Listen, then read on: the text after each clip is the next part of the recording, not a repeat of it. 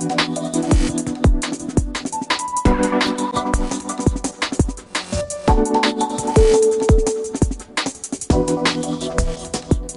would now like to request our esteemed guest mister Mahmood Sham to please address the gathering sir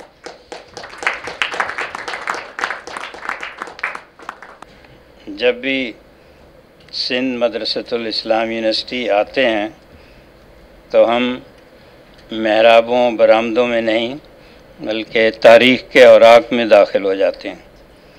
صدیاں ہمارے دائیں بائیں چلتی ہیں۔ خوش قسمت ہیں وہ خواتین حضرات جو اس عظیم درسگاہ میں پڑھ رہے ہیں، پڑھا رہے ہیں۔ آپ بانی پاکستان، قائد اعظم محمد علی جناح کے ہم مکتب ہیں۔ جہاں وہ بھی بستہ اٹھائے، علم کی پیاس بجانے آتے تھے۔ اگر سچ پوچھیں تو قیام پاکستان کی بنیاد اسی دوران رکھی گئی تھی اور محمد علی شیخ قائد اعظم کے ہم نام ہیں۔ اس درسگاہ کو اس کا مرتبہ اور درجہ دلانے کے حوالے سے ان کا نام بھی تاریخ میں ہمیشہ نمایاں رہے گا۔ میں لکھنے سے ہی ایک نصف صدی سے زیادہ سے تعلق ہے۔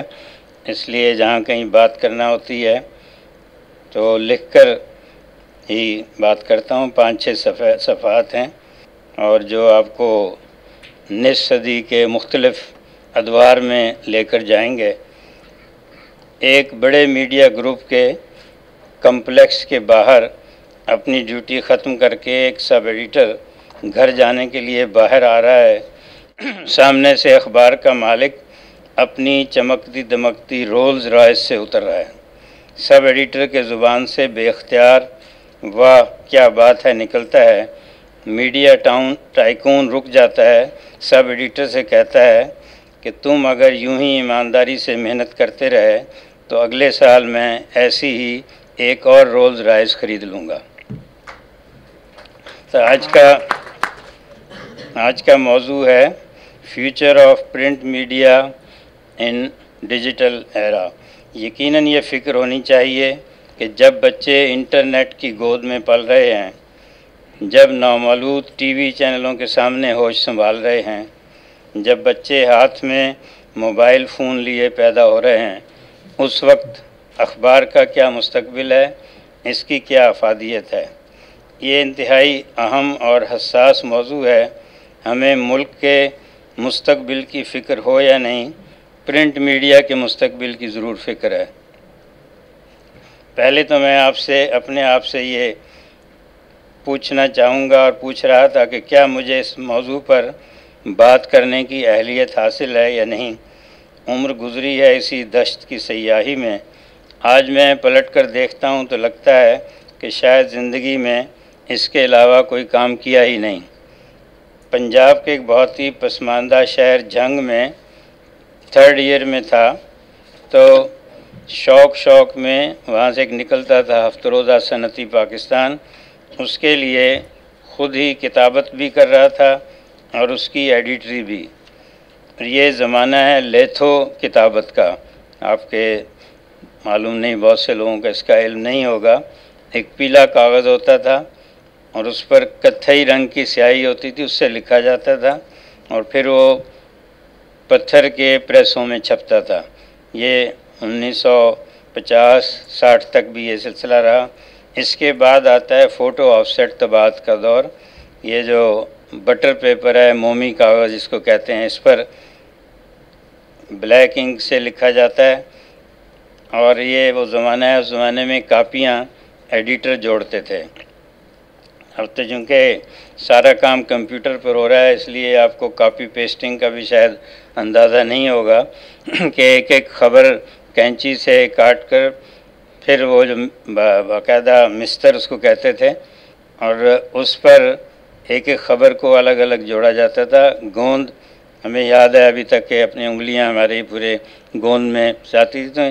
ایک کئی سال تک ایڈیٹر ہی کاپیاں جوڑتے رہے، کاتب ساتھ کھڑے ہوتے تھے، چاہے وہ نیوز ایڈیٹر ہوں یا میگزین ایڈیٹر۔ یا مختلف پیجز کے ایڈیٹر ان کو خود اپنی کاپی پیسٹ کرنا ہوتی تھی۔ کاپی پیسٹر اس وقت نہیں ہوتے تھے۔ پہلے صرف سیاہ رنگ کی پرنٹنگ تھی۔ کچھ سال بعد ایک رنگ اور چھپنے لگا۔ اس وقت آپ لوگوں کو یاد ہوگا کہ جنگ میں بھی یا دوسرے اخباروں میں تصویریں نیلے رنگ میں، صرف نیلے رنگ میں چھپتی تھیں۔ بہت عرصے بعد یہ جو چار رنگوں کی چھپائی ہے، جو آج کل ہو رہی ہے یہ نائنٹین ایٹی کی دہائی کے آخر میں شروع ہوتی ہے۔ اور وہ بھی صرف میگزینوں میں پہلے۔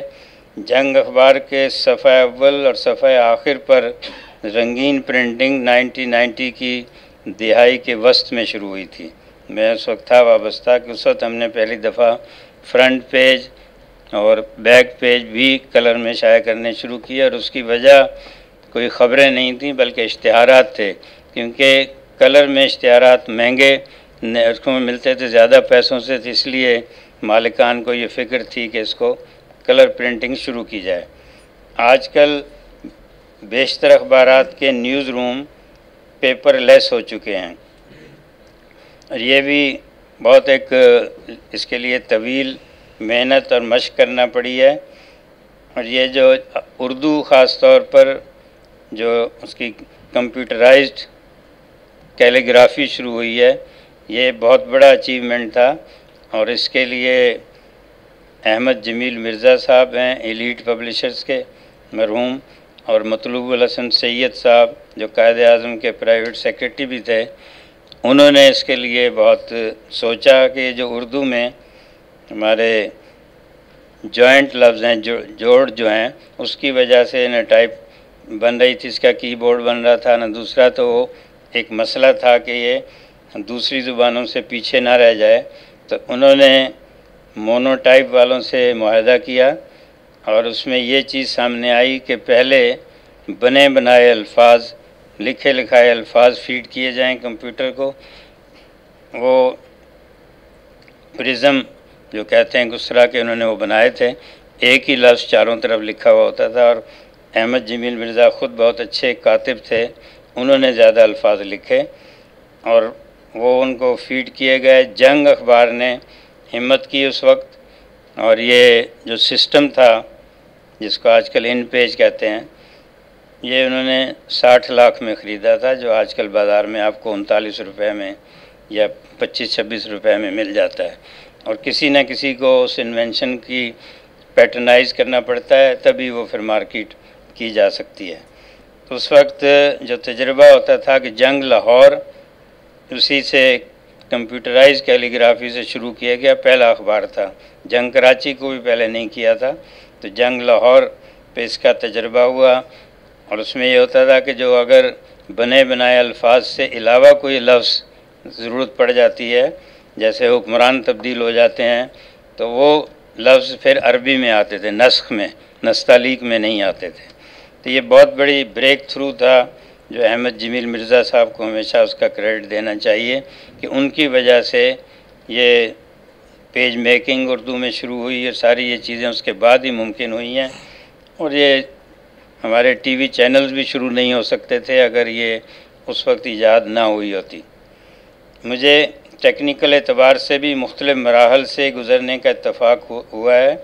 آزادی صحافت اور حکومتی جبر اور پابندیوں کے حوالے سے بھی سارے مناظر دیکھنے کا موقع ملا ہے۔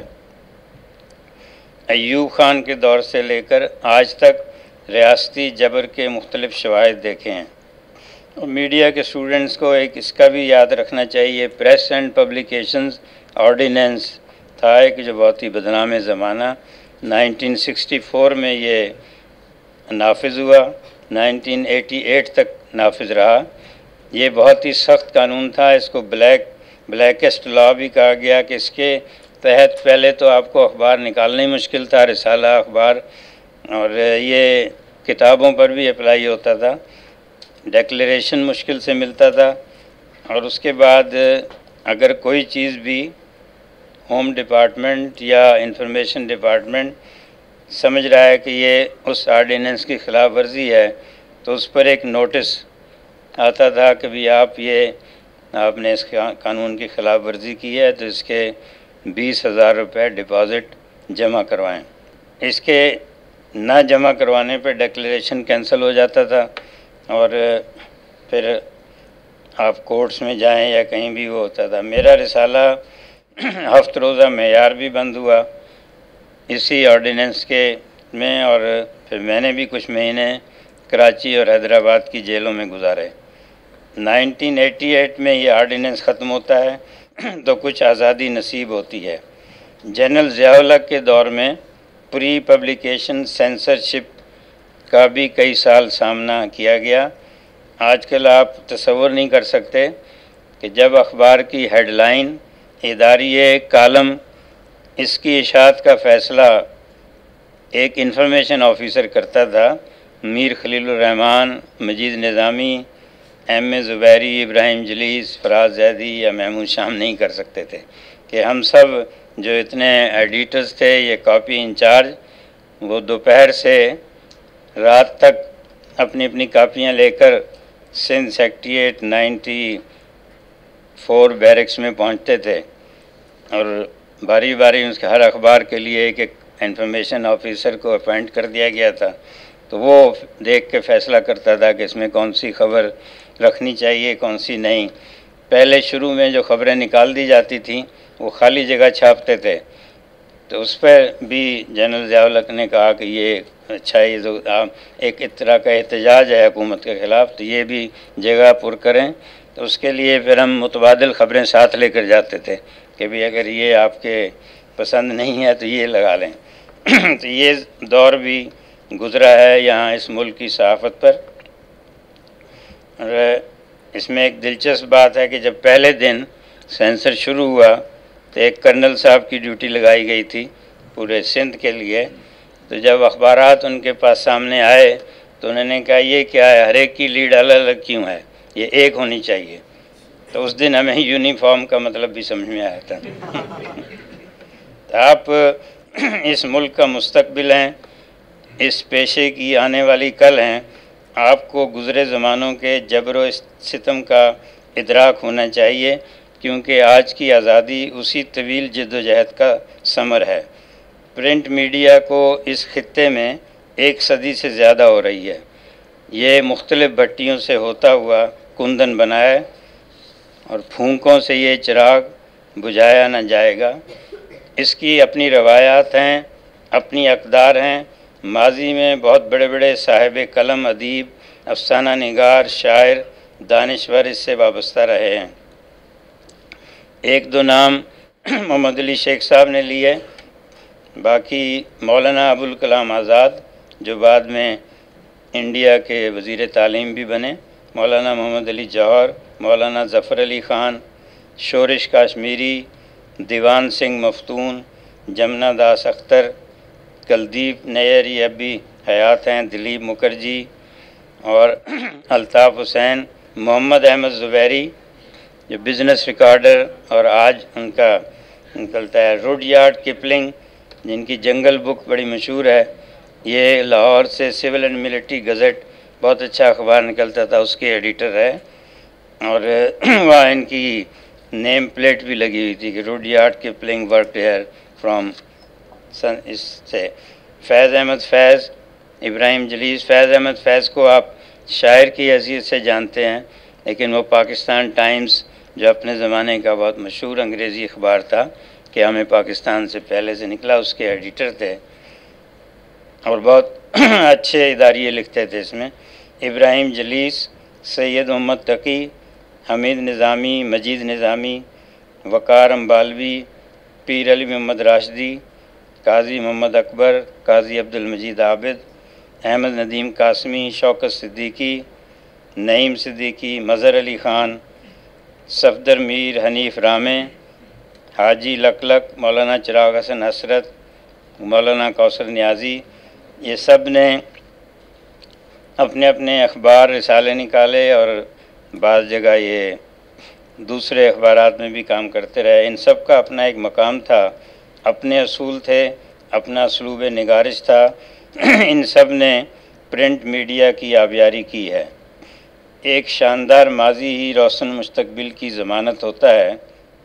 انیس سو نوے کی دہائی میں جب کمپیوٹر کی بھوکلمونی شروع ہوئی، انٹرنیٹ آ گیا، تو نیو یارک ٹائمز کے ایک مضمون میں یہ نعرہ بلند ہوا، بک از ڈیڈ اس پر بحث ہوتی رہی۔ پھر چند سال بعد یہ احساس ہوا کہ ڈیتھ آف بک کا اعلان کرنے والے ہی چل بسے ہیں۔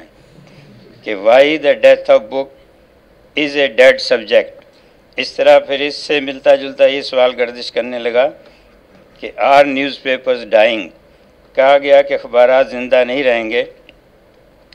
لیکن یہ نعرہ بھی دم توڑ گیا، اخبارات اب بھی زندہ ہیں اور وہ نئی ٹیکنالوجی سے بھرپور مدد لے رہے ہیں۔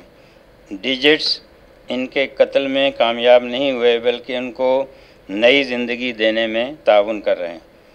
ہمارے یہاں بالعموم یہ کہہ دیا جاتا ہے، لیکن اس کے اسباب پر غور نہیں کیا جاتا۔ آئیے پہلے امریکہ میں پرنٹ میڈیا کی صورتحال کا جائزہ لیتے ہیں۔ وہاں یقیناً اخبارات کسی حد تک متاثر ہوئے ہیں کہ ان کی اشتہاری آمدنی اخبارات کی کم ہوئی ہے۔ Website, T V channel اشتہاری آمدنی میں زیادہ حصہ لینے لگے ہیں۔ لیکن بڑے اخبارات نے ہمت نہیں آ رہی۔ Washington Post, New York Times, Chicago Tribune, U S A today, Los Angeles time اور ٹائم ویکلی اب بھی اپنی بلند کامس کے ساتھ کھڑے ہیں۔ انہوں نے اپنی آن لائن آمدنی کے لیے نئی سرمایہ کاری کی ہے۔ کینیڈا میں دا میل اینڈ گلوب، ڈیڑھ سو سال پرانا اخبار ہے۔ اس نے دو ہزار دس میں نئی سرمایہ کاری کی، لے آؤٹ میں تبدیلی کی، سائز میں تبدیلی کی۔ مجھے دو ہزار چار میں پبلشرز کے ایک وفد کے ساتھ امریکہ کے سبھی بڑی اخباروں کے اداروں کے دورے کا موقع ملا تھا۔ ان کے نیوز روم بھی دیکھے اور جو آئی ٹی ڈپارٹمنٹس بھی، New York Times, A P, U S A today, Chicago Tribune یہ سب آن لائن جرنلزم کے لیے تیاریوں میں مصروف تھے، اس سے بھی آمدنی کے وسائل تراش رہے تھے۔ قارئین کم ہونے کا سب کو گلا تھا، لیکن انہیں پرنٹ میڈیا کے بالکل خاتمے کی تشویش نہیں تھی۔ شکاگو ٹریبیون، جو امریکہ کے حصے میں سب سے زیادہ پڑھا جاتا ہے اخبار، ہم یہاں ان کی سرکولیشن یا پرنٹ آرڈر کا تصور بھی نہیں کر سکتے ہیں کہ کوئی بیس لاکھ چھپتا ہے کوئی انتالیس لاکھ چھپتا ہے، کوئی اس سے بھی زیادہ۔ انہوں نے نوجوانوں کو اخبار سے جوڑے رکھنے کے لیے ہر روز سولہ صفحات پر ایک میگزین مفت تقسیم کرنا شروع کیا تھا۔ اپنے رپورٹرز کو تربیت دی جا رہی تھی کہ وہ اخبار کے ساتھ ساتھ ویب سائٹ اور ٹی وی کے لیے بھی خبر بنانا یا لکھنا سیکھیں۔ ان کو وہ کنورج جرنلسٹ کہتے ہیں۔ رپورٹنگ اور تحریر کا معیار بہتر سے بہتر کریں۔ امریکی اخبار اب معمول کی خبروں کی نسبت اپنے رپورٹرز کی خصوصی خبروں کو اہمیت دیتے ہیں۔ بلاگز بھی شروع کر دیے گئے ہیں اور یہی حال برطانیہ میں بھی ہے۔ وزیر اعظم ملکہ وزراء کی خبریں دینے کے بجائے اپنے رپورٹرز کی انویسٹیگیٹو خبروں کی لیڈ شائع کرتے ہیں۔ ایسی خبریں جنہیں الیکٹرانک میڈیا بھی نشر کرنے پر مجبور ہو۔ ہم اپنے یہاں کا قابلی مطالعہ ذرا بعد میں کریں گے، لیکن اس بات کو سمجھ لیں کہ وہاں بھی پہلے اسی طرح پریزیڈنٹ پرائم منسٹر وغیرہ کی خبریں لیڈ سپر لیڈ وغیرہ چھپتی تھیں، لیکن جب سے چینل شروع ہوئے تو چونکہ یہ ساری خبریں چوبیس گھنٹے لوگوں کے سامنے ہوتی رہتی ہیں، اس لیے وہ ان خبروں کو ایک فارملی تو چھاپ دیتے ہیں، سنگل کالم، ڈبل کالم، لیکن ان کو اہمیت نہیں دیتے، کیونکہ وہ لوگ آلریڈی سن چکے ہیں۔ اس لیے لیڈ اپنی لگاتے ہیں، چاہے وہ ایجوکیشن کے بارے میں ہو ہیلتھ کے بارے میں، اور لوگوں کی مشکلات کے بارے میں۔ بعض جگہ وہ سروے کرتے ہیں، روزانہ یو ایس اے ٹوڈے روزانہ سروے کرتا ہے، اس کے چارٹ اور گراف شائع کرتا ہے، اپنے وہاں کے جو مسائل ہیں امریکہ کے، پینے کے پانی کے دوسرے چیزیں، ان کا وہ گراف شائع کرتے ہیں، پورے ملک میں اس کا سروے کرتے ہیں۔ ہمارے پڑوس انڈیا میں تو اخبارات نے ٹی وی چینلوں کو اپنی آمدنی پر ڈاکہ نہیں ڈالنے دیا۔ امریکی اخبارات بھی کہہ رہے ہیں کہ جب ترقی یافتہ دنیا میں اخبار بند ہو رہے ہیں، اخباری ملازمین فارغ کیے جا رہے ہیں، اس وقت انڈیا میں اخبارات کی اشاعت اور آمدنی میں مثالی اضافہ ہوا ہے۔ وال اسٹریٹ جرنل نے فروری دو ہزار سولہ میں تفصیلی report the. Why India newspaper business is booming. اشتہاری آمدنی میں اب بھی اخبارات چالیس فیصد سے زیادہ حاصل کر رہے ہیں۔ باقی دوسرے ذرائع جن میں channel, website, outdoor advertising شامل ہیں۔ ہندی اور دوسری مقامی زبانوں میں شائع ہونے والے اخبارات نے انگریزی اخبارات کی برتری اور بالادستی ختم کر دی ہے۔ ایک ہندی اخبار وہاں نکلتا ہے، دینک جاگران، ڈیلی جاگران، ہندی میں۔ اس نے تو ریکارڈ قائم کر دیے ہیں، وہ پچیس سے زیادہ شہروں سے شائع ہوتا ہے اور روزانہ ڈیڑھ کروڑ سے زیادہ چھپتا ہے۔ یہ ہائیسٹ ہے۔ ٹائمز آف انڈیا انیس لاکھ چھپتا ہے، میرا خیال ہے بارہ جگہوں سے نکلتا ہے۔ تو انڈیا کے وزیر خزانہ نے کہا کہ اخبارات ان مباحثوں اور موضوعات پر زیادہ واضح، قطعی اور تفصیلی رائے دیتے ہیں جن پر ٹی وی چینلوں نے کنفیوژن پھیلایا ہوتا ہے۔ ایک تحقیق کے مطابق، بھارت میں اخبارات کے اب بھی عروج کے کئی اسباب ہیں۔ یہ ذرا غور سے سنیں کہ ملک میں مڈل کلاس بڑھ رہی ہے۔ نمبر دو، چھوٹے قصبوں اور دیہات میں تعلیم کی شرح میں اضافہ ہو رہا ہے۔ نمبر تین تجارتی کمپنیاں، یہ ان کو یقین ہے کہ اخبارات میں شائع ہونے والے اشتہارات زیادہ متاثر کرتے ہیں۔ اخبارات کے ادارے جو ہیں مختلف طریقوں سے اخبار کے قارئین میں اضافہ کر رہے ہیں۔ اس کے لیے وہ باقاعدہ مہمیں چلاتے ہیں، کوشش کرتے ہیں۔ قومی اور مقامی زبانوں کی طرف زیادہ رجوع کیا جا رہا ہے۔ زیادہ تر اخبارات خاندانی ملکیت ہیں اور ان مالکان نے اپنے آئندہ نسلوں کو اخبارات کی، ایڈیٹنگ کی، مارکیٹنگ کی، پرنٹنگ کی باقاعدہ دوسرے ملکوں میں تربیت دلوائی ہے۔ پاکستان میں وقتی طور پر لگتا ہے کہ ٹی وی چینل چھا گئے ہیں اور ساری آمدنی وہ لے جا رہے ہیں، اس لیے اخبارات کی بقا خطرے میں ہے۔ لیکن حقیقت یہ ہے کہ پرنٹک میڈیا اب بھی مستحکم ہے اور مقبول ہے۔ اس کی حالیہ مثال ڈان میں چھ اکتوبر کو شائع ہونے والی سیرل المیڈیا کی خبر ہے۔ آپ نے بھی اس کو دیکھا ہوگا، ساری جگہ وہ شیئر ہوئی ہے سوشل میڈیا پر بھی سب بھی۔ اب اس میں دونوں چیزیں ہیں کہ جنہوں نے بھی خبر لیک کی، افشا کی، انہوں نے بھی صرف اخبار میں ہی کیوں کی چینل کو کیوں نہیں انتخاب کیا کہ روزانہ بہت سے ادارے چینلوں کو خبریں دیتے ہیں جو بریک بریکنگ میں دیتے ہیں۔ یہ کیوں کی گئی کہ اس کو یہ یقین تھا کہ اخبار کی پوزیشن سٹیبل ہے اور اس پہ لوگ اعتبار کرتے ہیں۔ اور اس سے ہی پوری دنیا تک وہ خبر پہنچے گی۔ اس لیے پرنٹ کا انتخاب کیا گیا اور ان کا اندازہ بالکل صحیح تھا۔ اخبار میں خبر شائع ہونے سے فصیلیں لرز گئیں۔ اس سے بھی ثابت ہوتا ہے کہ اخبار اخبار کی افادیت اور برتری کسی طرح کم نہیں ہوئی ہے۔ اخبارات کی میں یہ سمجھتا ہوں اپنے تجربے کے مطابق کہ اصل کمزوری یہ ہوئی ہے کہ جو چینل ہیں وہ بھی سب اخبارات نے ہی شروع کیے ہیں۔ ٹی وی چینل کا اس وقت یہ جب مشرف صاحب کے زمانے میں اجازت دی جا رہی تھی تو یہ کافی دیر رہا تھا۔ جن کا کراس میڈیا اونرشپ نہ دی جائے۔ باقی کئی دوسرے ملکوں میں کراس میڈیا اونرشپ نہیں دی گئی۔ کہ ایک ہی جو ہے میڈیا، دوسرے میڈیا بھی اسی قبضے میں نہ ہو۔ اس سے ایک جو ہے منوپلی شروع ہوتی ہے اور پھر یہ کہ جس قسم کا ہمارا معاشرہ ہے، اس میں بھی مسائل ہو سکتے ہیں اور وہ اس وقت ان کا سامنا بھی کرنا پڑ رہا ہے۔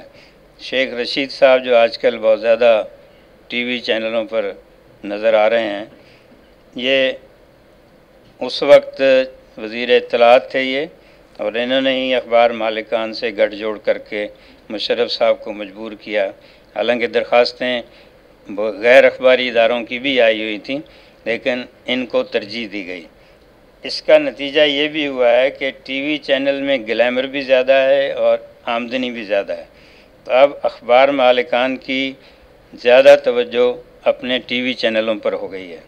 میں نے جو جنگ دو ہزار دس میں ریزائن کیا تھا، وہ بھی اسی لیے کہ جنگ جو مدر انسٹیٹیوشن ہے، جس کے پیسے سے ہی جیو یا دوسرے نیوز اخبار سب شروع ہوئے اس سے ان کی توجہ مالکان کی کم ہو رہی تھی۔ میں انہیں خط بھی لکھتا رہا، ای میلز بھی، میٹنگیں بھی ہوئیں۔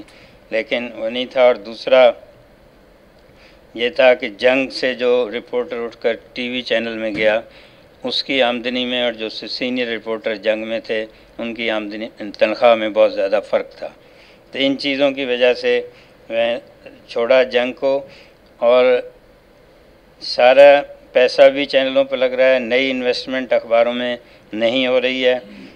اخباری کارکنوں کی تنخواہیں ان کے مقابلے میں کم ہیں۔ لیکن یہ چیز عام آدمی محسوس نہیں کر سکتا کہ ٹی وی چینلوں میں اشتہارات کے جو ریٹس ہیں وہ بہت فلیکسیبل ہیں۔ کہ وہی اشتہار جو آپ جیو میں دیکھ رہے ہیں، وہ کتنے روپے کا ہوگا اور جو نیوز ون میں یا دوسرے میں تھا، وہ وہی اشتہار اس میں بہت پیس، کم پیسوں پر۔ لگتا ہے کہیں ایک سیکنڈ کے آٹھ دس ہزار روپے لیے جاتے ہیں، کہیں ایک سیکنڈ ایک ہزار میں بھی بک جاتا ہے۔ نئے بڑے اخبار بہت کم رعایت کرتے ہیں۔ اخباروں میں اب بھی چاہے اخباروں ان کے ریٹس سٹیبل ہیں، اس میں بہت کبھی کبھار ہی کوئی وہ ڈسکاؤنٹ دیتے ہیں۔ ٹی وی چینل جس طرح جھاڑیوں کی طرح اگ رہے ہیں، گھی بنانے والے سونا بیچنے والے، تعلیم فروخت کرنے والے میڈیا کی کشش دیکھ کر ادھر آ گئے ہیں۔ تو یہی پس منظر ان ذرائع ابلاغ میں پروفیشنلزم، ریسرچ اور انویسٹیگیشن نہیں ہونے دے رہا۔ یہ ظاہر ہے کہ جن کا پس منظر میڈیا کا ہے، انہیں تو اس کا خبر کی اہمیت کا اندازہ ہے۔ اب گھی بنانے والے کو تو اس کا اندازہ نہیں، وہ اپنے بلک سیل اور اس کے لحاظ سے ہی وہ دیکھے گا۔ یا پھر یہ چیز کیا دینی چاہیے، آپ لوگوں کو اندازہ ہوگا کہ چینلز میں ہمارے جو جن کو نان پولیٹیکل ادارے اسٹیبلشمنٹ کہا جاتا ہے، زیادہ تر اینکر پرسنز ان کے کہنے پہ روزانہ کا موضوع انتخاب کرتے ہیں۔ یہ جو آپ روزانہ دیکھتے ہیں، یہ اس کی وجہ سے بھی وہاں کوئی مثبت اسٹیبل اور اور ایک ان کے ان سب کے اعصاب پر ریٹنگ سوار ہے۔ اچھا، ریٹنگ کا لفظ آپ نے سنا ہوگا، لیکن میرا خیال آپ میں سے اس کا اندازہ کم کو ہوگا کہ ریٹنگ ہو کس طرح رہی ہے۔ ایک ادارہ ہے میڈیا لاجک۔ اس نے پاکستان میں کوئی ساڑھے سات سو گھروں میں اپنے ریموٹ دیے ہوئے ہیں۔ اسی ریموٹ میں میٹر ہے کہ کس گھر میں کس پروگرام پہ زیادہ دیر وہ رکے رہے۔ اب یہ جن گھروں کا انتخاب کیا گیا ہے، اس کا کوئی ریشنل نہیں بتایا گیا کہ کیوں اس گھر کا انتخاب کیا گیا۔ ہے اس کو چونکہ آپس کی ملی بھگت ہے، تو اشتہاری ایجنسیوں نے بھی اس کو مان لیا ہے اور چینل مالکان نے بھی۔ تو اس کے ہوتا ہے کہ جی فلاں پروگرام، یہ زیادہ دیکھا گیا، اتنے پرسنٹ اس کی ریٹنگ ہے۔ اس کے بعد یہ اس سے ریٹنگ کے پیچھے بھاگتے ہیں سب لوگ اور اسی میں کوئی پازیٹیو پروگرام یا کوئی آپ کسی پروگرام کے لیے کہیں کہ بھی یہ کام بڑا اچھا ہو رہا ہے، سندھ مدرسۃ الاسلام یونیورسٹی میں یا اور کسی جگہ، تو وہ اس کے لیے تیار نہیں ہوں گے کہ یہ تو اس سے کوئی ریٹنگ نہیں ملے گی۔ یا آپ انہیں پوچھتے ہیں کہ یہ فلاں ایشو پر ہم پروگرام کر رہے ہیں، تو اس کے لیے مناسب آدمی کون ہوگا؟ اگر میں کسی یونیورسٹی کے پروفیسر کا نام بتاؤں گا تو کہیں گے نہیں، یہ تو بہت دھیما بولتے ہیں۔ تو آپ کو علم، معلومات نہیں چاہیے کہ ایک زیادہ بلند آواز سے بولنے والے چاہیے۔ جب ان کی جو نالج ہے پروڈیوسرز کی، اس کی ایک مثال دوں گا، یہ نان الائنڈ موومنٹ جو ہے، نام جو کہا جاتا ہے، تو اس کو پروڈیوسر سے کہا گیا کہ بھئی یہ نیم پر آپ نے پروگرام کرنا ہے، ان کی سبمٹ ہونے والا ہے۔ تو جو صاحب گئے، انہوں نے کچھ چیز بتائیں نیم اور تھوڑی دیر بعد وہ کہنے لگے نان الائنڈ موومنٹ میں یہ طے کیا گیا تھا۔ پروڈیوسر کہنے لگے جی نیم پہ بات کریں نان الائنڈ موومنٹ پہ بات نہ کریں۔ تو یہ ان کے مبلغ علم ہے۔ اور ایک المیہ یہ ہے کہ میڈیا کی کمائی تو ہو رہی ہے ایک انڈسٹری کی طرح۔ لیکن حکومت سے اور آپ سے مراعات وہ چاہتے ہیں ایک مشن کی طرح کہ اخبارات اپنی سرکولیشن خود نہیں بڑھنے دیتے، کہتے ہیں کہ اس سے اخراجات بڑھتے ہیں، کہ پر کاپی قیمت جو ہے، جنگ والے جیسے کہتے ہیں، ان کی اکیس روپے میں پڑتی ہے ایک کاپی، جو نو روپے کی یا کتنی اب کتنی قیمت ہے، کہ اس میں دے کے اس میں سے چالیس پرسنٹ ایجنٹ کو بھی جاتا ہے۔ اس لیے یہ اس کے نہیں بڑھانا چاہتے سرکولیشن خود آمدنی ساری اشتہارات سے ہوتی ہے۔ انڈیا کے مقابلے میں اخبارات کی قیمتیں بہت زیادہ ہیں۔ وہاں آپ پندرہ سولہ روپے میں سات آٹھ اخبار لے سکتے ہیں۔ ٹائمز آف انڈیا بھی بھی ڈھائی روپے کا ہے، دوسرے اخبار بھی۔ کوئی اخباری ادارہ اپنے قارئین کی تعداد بڑھانے کے لیے کوشش نہیں کرتا۔ دنیا بھر میں اخبارات کی انتظامیہ بک فیئرز میں یا دوسرے فیسٹیولز میں سٹال لگا کر خریداری کی کوشش کرتے ہیں، تحفے دیتے ہیں، کئی اسکیمیں چلاتے ہیں۔ کراچی ڈھائی کروڑ کا شہر بتایا جاتا ہے۔ تو یہاں اگر سب سے بڑے اخبار کی سرکولیشن ساٹھ ہزار سے بھی کم ہے، تو کیا یہ حقیقت کے قریب ہے؟ اور یہ کہنے کو سرکولیشن بہت زیادہ بتائی جاتی ہے۔ لیکن ایسا نہیں ہے۔ میں یہ تحریر سے پہلے ایک صاحب جو بہت موت ہیں، اے پی این ایس کے مصدقہ، ان سے پوچھا۔ انہوں نے کہا کہ ایک مصدقہ اطلاع کے مطابق سارے اردو انگریزی اخبارات ملا کر بارہ ملین ریڈرشپ ہے۔ ساری سب ملا کے۔ ٹی وی چینلز کا دعویٰ ساٹھ ملین ناظرین کا ویئرس کا۔ اور انٹرنیٹ نے چونتیس ملین تک رسائی حاصل کی ہے۔ موبائل فون سب سے آگے ہیں۔ ان کی پہنچ ایک سو تیس ملین تک ہو گئی ہے۔ اب آئیے اصل سوال کی طرف کہ پاکستان میں ڈیجیٹل دور میں پرنٹ میڈیا کا، پرنٹ میڈیا کا مستقبل کیا ہے؟ میں اسے یوں کہنا چاہوں گا کہ اکیسویں صدی میں جب اخبار نکلنا چاہیے، جیسا اخبار نکلنا چاہیے، اگر ویسا نکالا جائے گا تو اس کا مستقبل یقینی ہے۔ لیکن آج کل جو اخبارات نکل رہے ہیں، سب سے بڑے اخبارات سمیت یہ ویسے ہی ہیں جیسے انیس سو اسی میں نکل رہے تھے۔ صرف یہ ہوا ہے کہ کتابت ہاتھ کے بجائے کمپیوٹر سے ہو رہی ہے۔ اس کے علاوہ اس کی ترتیب، تدوین میں کوئی فرق نہیں پڑا ہے۔ اخبار مالکان اور ایڈیٹوریل اخبارات پر محنت کرنے کے لیے تیار نہیں ہیں۔ جیسے ہمارے سیاستدان اسی طرح سیاست کر رہے ہیں جیسے نائن الیون سے پہلے کرتے تھے۔ انہیں اطلاع نہیں ہے کہ دنیا بدل گئی ہے۔ اخبار کی عادت اب بھی کم نہیں ہوئی ہے۔ ناشتے کے وقت ایک ہاتھ میں اخبار، ایک ہاتھ میں چائے یا کافی کا کپ، وہ نسلیں اب بھی موجود ہیں۔ اخباری ادارے خود اخبار کا گلا گھونٹ رہے ہیں، ورنہ اخبار کی ضرورت اب بھی ہے۔ ایک عملی طور پہ جو ہمیں تجربہ ہوا وہ اسٹوڈنٹس کے لیے خاص طور پر کہ اخبار میں برسوں سے قیام پاکستان سے پہلے سے بھی ایڈیٹوریل سب سے پہلے لکھا جاتا ہے۔ جو پہلی شفٹ ہوتی ہے، وہ اس دن کے اخبارات سامنے رکھ کے اس میں سے موضوع کا انتخاب کرتے ہیں۔ یہ خیال ہے انیس سو چودہ، انیس سو پندرہ سے اسی طرح ہی ہو رہا ہے۔ ایک، اس وقت خبر کا ذریعہ صرف اخبار ہوتے تھے۔ اب خبروں کا ذریعہ ٹی وی چینل بھی ہیں، ویب سائٹس بھی ہیں، سوشل میڈیا بھی۔ تو میرے خیال میں اداریہ سب سے بعد میں رات گئے لکھا جانا چاہیے تاکہ آپ جو پورے چوبیس گھنٹے کا سب سے اہم موضوع ہے اور جس پہ لوگ اگلے دن کوئی رائے آپ کی جاننا چاہتے ہیں، اس پر لکھا جائے۔ چوبیس گھنٹے درجنوں چینل خبریں اچھال رہے ہیں قارئین سن بھی رہے ہیں ایک ایڈیٹر کا فرض یہ ہے کہ وہ ایسا اخبار مرتب کرے جو چوبیس گھنٹے بعد ایسی خبریں یا ایسی تحریریں پیش کرے جو جن میں کوئی نئی بات ہو اور جن کو لوگ اس کے باوجود پڑھنا چاہیں۔ سارا دن چینلوں پر آنے والی خبر لیڈ نہیں ہونی چاہیے۔ اپنے رپورٹرز کی خصوصی خبریں لیڈ بنائی جائیں۔ رات گیارہ بجے، بارہ بجے تک ٹی وی چینل جو کنفیوژن پھیلاتے ہیں اکیسویں صدی کے اخبار کو محنت کر کے ایسے نکات اور موضوعات قلم بند کرنے چاہیے جن سے یہ کنفیوژن دور ہو اور واضح تجزیہ سامنے آئے۔ اخبارات کو دیکھنا چاہیے کہ الیکٹرانک میڈیا کی کیا خامیاں ہیں، کیا ڈرا بیکس ہیں، کیا مجبوریاں ہیں۔